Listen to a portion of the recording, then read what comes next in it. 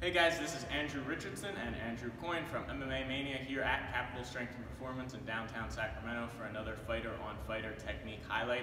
So we already talked about Marlon Moraes' ideal adjustments and game plans leading into this rematch, and today we're going to talk about uh, Rafael Assunção. Now Assunção did a, a, really good job that despite being outmatched on the power and speed, he managed to find a, a few key overhands that really uh, made a mark on the judge's mind, and even though he landed fewer strikes, it, it managed to shift the decision into his favor. Uh, so a lot of that's going to be based on the same concept of he might not be able to keep up with the speed and power and maybe even output, but if he can make his shots count more, that's going to be really significant. Um, so first and foremost, uh, in general, that overhand did land, but uh, he still had a difficult time landing on Moraes. The Brazilian keeps a tight guard, moved his feet well, and he was looking to counter. So because of all that, I would like to see Assunção go to the body.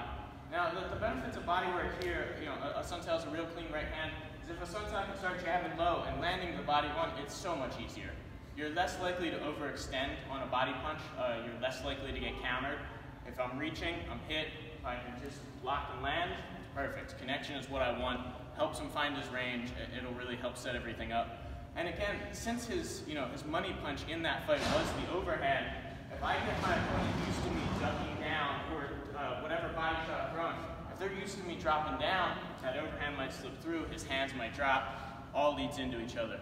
Uh, and then aside from that, I'd really like to see I'd really like to see Assunção throw kicks underneath his opponent's kicks. So what I mean by that is uh, Moraes has a very fast switch kick, right kick, he goes high with his kicks. His head kicks can be sudden and violent. Uh, but if a lot of times what Moraes does is kick as I'm leading. So as I'm throwing punches, Moraes takes a step back and throws a kick, whichever side, throw a kick. Boom. Tries to catch his opponent in the ribs under a punch. So we're going to do the same thing and kind of read that and then kick out his base leg. So what I'd like to see Assunção do is he's throwing whatever punch, when that kick comes, catch it, kick.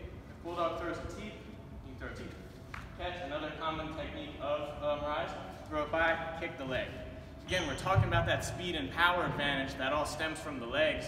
Assunção's a great low kicker in his own right. If he can chop the leg, slow him down, and take away those body kicks, that'd be a huge advantage for Assunção.